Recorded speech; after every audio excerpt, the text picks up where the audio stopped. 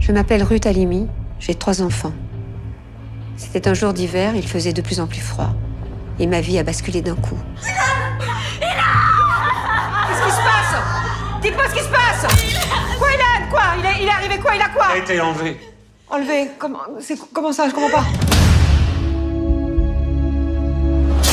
Qui aurait pu croire qu'une chose pareille pouvait arriver à Paris en 2006 Et pourtant, tout est vrai, bien trop vrai.